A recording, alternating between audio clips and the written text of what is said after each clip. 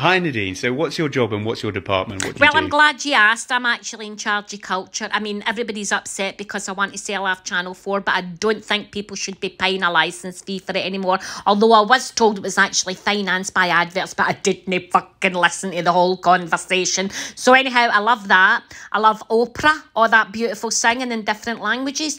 I love Van Gogh. Van Gogh does some beautiful paintings. I'm right into my ballad.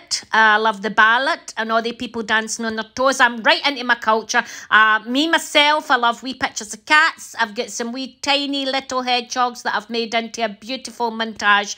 Yeah, I love culture.